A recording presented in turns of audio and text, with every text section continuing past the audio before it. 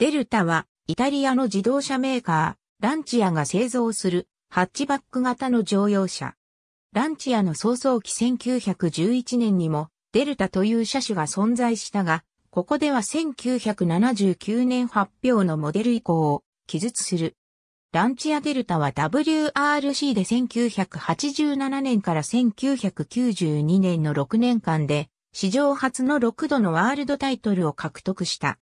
ランチアはフィアットに吸収される前の1972年までフルビアをフィアット吸収後の1972年から1980年にはベータという車種を製造しており、1979年発表のデルタもその流れを組んだものである。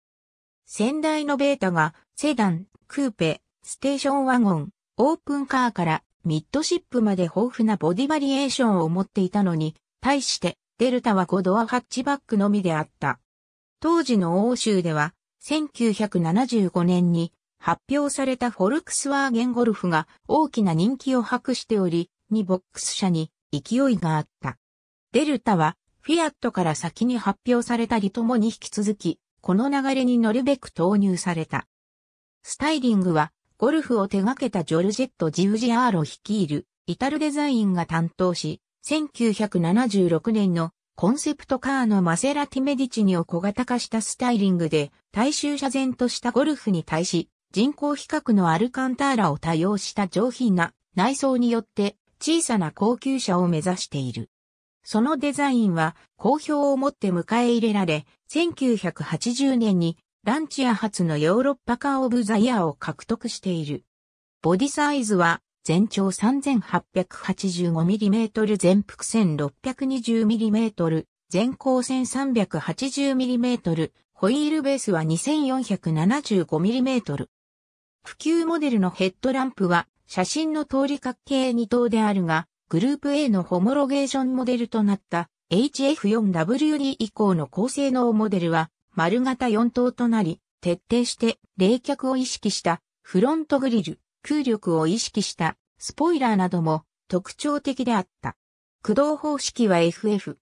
エンジンはすべて横置き直列4気筒で、サイチェシーの1.3リットル、1.5リットル、DOHC の1.6リットル、1.6リットルターボ付きのガソリンエンジンと1.9リットルターボのディーゼルエンジンが設定された。特別なモデルとして DOHC の2.0リットルターボでガソリンエンジンの HF4WD、HF インテグラーレと呼ばれるフルタイム 4WD モデルも設定されている。この DOHC エンジンはアウレリオランプレディの設計でフィアットが多用したタイミングベルト駆動のツインカムユニット、通称ランプレディユニットが採用されている。1993年に発表された2世代目のデルタが後継車種となる。1993年に仙台デルタの後継車種として、フィアットティーポ同様ティーポに3プロジェクトの一つとして発表された。よって、フィアットテムプラやランチアデドラ、アルファロメオ155とは基本構造が同じであった。ボディア5ドアハッチバックと3ドアハッチバック。ボディサイズは全長 4011mm 全幅 1703mm 全高 1430mm ホイールベース 2540mm 先代同様に HF というスポーツモデルがあり、異なったボディが設定されていた。フェンダーが張り出した分、全幅が 1759mm となる。エンジンはすべて4気筒で、サイチェシーの1.6リットル、DOHC の1.6リットル、1.8リットル、2.0リットル、2.0リットルターボのガソリンエンジンと1.9リットルターボのディーゼルエンジン。それらを FF 方式で駆動した。内外装ともにイタリアのデザイン会社アイで AA が担当した。販売的には仙台デルタの印象があまりにも強く、さらに2代目とともに仙台イングラーレの生産、発売が続いていたため、その影に隠れてしまった感がある。日本でも数台がガレージイタリアによって輸入、販売された。1999年に生産終了。HF プロトタイプ、ランチやデルタファップはランチア創立100周年を記念して2006年9月5日のベネツィア国際映画祭にて初公開され、直後のパリモーターショーにも出展された。生産型は2008年のジュネーブモーターショーで公開され、同年6月に発売開始された。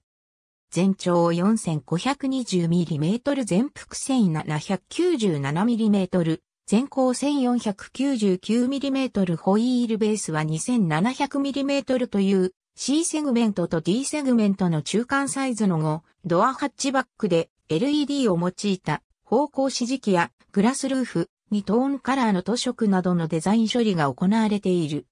内装もランチアが得意とするアルカンターラやポルトローナ、フラウ製のホンガーシートを採用している。エンジンはすべてターボチャージャー付きで、当初はガソリン1.4リットル120、150馬力、ディーゼル1.6リットル120馬力の計3種類となるが、2.0リットルディーゼル165馬力、1.9リットルツインターボディーゼル190馬力、ガソリン直噴200馬力も追加される。トランスミッションはいずれも6段のマニュアル、シーケンシャル、そしてオートマチックが用意される。新世代電動パワーステアリング、アブソリュートハンドリングシステム、リネアリゼーショントルクフィードバックトルクトランスファーコントロールと称するトルクコントロール機能、電子制御サスペンション、さらには縦列駐車を容易にするセミオートマチックパーキングシステム、車線維持システムなども装備される。2010年の北米国際オートショーでは、フィアットグループ傘下に入ったクライスラーグループがデルタをクライスラーブランドで参考出品した。クライスラーとランチアを統合する方針に基づいたものである。2011年3月にはランチア版デルタのフェイスリフトが行われて、ジュネーブモーターショーで披露されたが、前述の参考出品車に付けられていたクライスラー風のグリルが採用されている。2011年9月、イギリスにてクライスラーデルタの販売が開始された。ランチアはかつてイギリス市場から撤退していたため、クライスラーブランドで販売されることとなった。日本では主に、かつてランチアの日本代理店であったガレージイタリアなどによって少数ながら並行輸入された。生産は2014年に終了した。ありがとうございます。